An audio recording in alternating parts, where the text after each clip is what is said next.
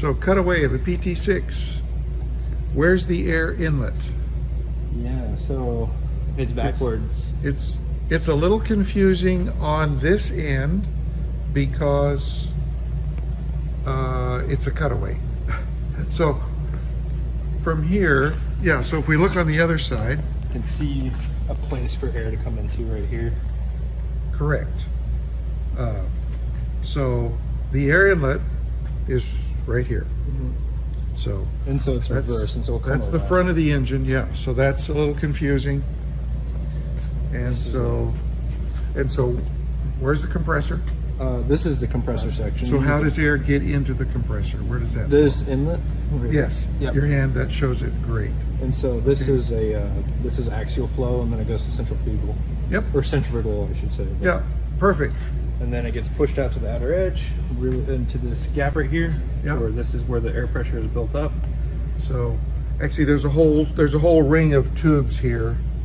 If you can, all of these all of mm-hmm. these tubes and it goes into these nozzles sort of down there, like, like up here. So it gets blown into these nozzles. Okay. Then, and then from those nozzles, it will go hot um, air will be forced through the turbine section, and the turbine's only job is to spin the compressor section. And so this hot air will be forced through these uh, uh, first set of turbine blades. And this is also the hottest part of the engine right here. Should be because I think this is combustion area right here. Yeah. See what happens is this airflow flows here. It flows all around this burner can. This burner can has holes in the outside. Okay. Air then goes, uh, let me see if you look, well here, here are holes in the burner can. All they're strategically placed there. You can, oh there you can see them up inside past oh, that plexiglass. There's holes. So air flows into this burner can gets mixed with fuel. Here's a fuel nozzle. Mm -hmm. This is the fuel nozzle ring, the fuel manifold. Here's one of the nozzles, but there's nozzles all the way around. Okay. Uh, in in and there. Once the atomized fuel mixes with the actual lit flame and the hot air comes through through yep. the turbine section. Yes. And so this is an igniter, and it'll have two. Two on, on uh, and then so this would light the fuel but once the fuel is lit they turn the igniters off because once the flame is lit it burns so then then it burns and expands flows around here mm -hmm. goes through the inlet guide vanes into this turbine which is their gas generator turbine okay you're, you're correct its only function is to turn the compressor yeah. how much of the engine's power how much of the energy generated by the burning of the fuel is used by this turbine wheel to drive that. 40%? Or it 60% goes to the outside, 40 goes to the inside, or is that just no high bypass or high bypass? No. What do you mean like airflow? That's I'm talking about the energy. Oh. Um, Basically, this is a this is about a 600 horsepower engine. Okay. Okay. If this is a 600 horsepower engine,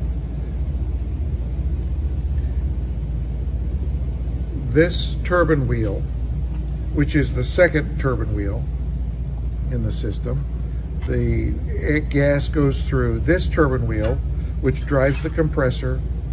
Then it goes through this these guide vanes, and they turn this turbine wheel, which this one is doesn't isn't turning easily. It does if this ring gets positioned the right place. But anyway, that turns this turbine wheel.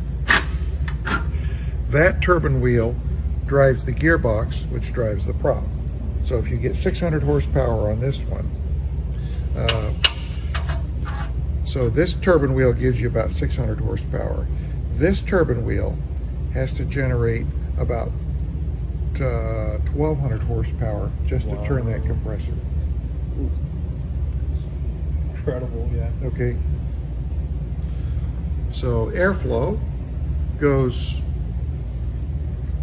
from the compressor around the uh, combustion chamber into the combustion chamber, mixed with fuel, burns, goes through this turbine wheel, which turns that compressor, uh, and then goes through this turbine wheel, which drives the prop, and then exits overboard out through, well, this is not part of it. So exits out through the exhaust ducts here, which you only see part of one. Yeah. And that's the airflow through a Pratt & Whitney PT6. One of the most popular engines out there. So this is the, the accessory section on the back of the engine. This Fuel is the pump. fuel control unit. So, oh, which, which Fuel contains pump. the fuel pump, okay? And then something like this would be the tach drive generator. Now that drives the tachometer. Starter generator is gonna get bolted on at this location. So starter generator would be right here. Starter generator is there, Okay. yeah. So they have gearboxes on both sides. This of the one has a gearbox on both sides of the engine.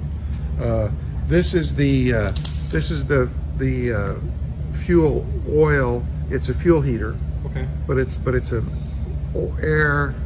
No, it's a fuel Oil to fuel. oil. It heats the fuel, cools the oil. Okay. Okay, So run it. as the oil. This has oil lines that run to it, and and the main fuel line comes in here. So it'll it'll cool that. And then, Yep, and then on the front of the engine, the accessories up here, this is the prop governor. Up here. Okay. So this controls. This controls the prop. Yeah, Okay. What is this here? I don't know. Yeah. Looks like an electrical component of some sort. Transmitter pressure, that's gonna be the torque. That's gonna measure the engine torque. Oh, okay. So it's So- a gauge of some sort, I guess. Well, yeah. Yeah, the way the torque measurement works in this is there's actually a cylinder in here.